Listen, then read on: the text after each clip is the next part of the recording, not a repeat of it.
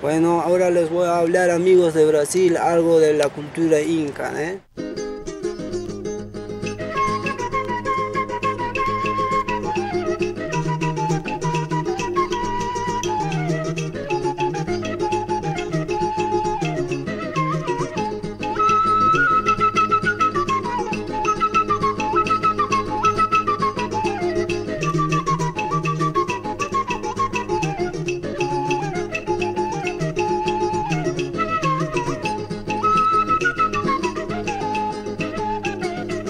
Nosotros agradecemos por la visita a los brasileños que nos, está, que nos están llevando a este camino inca.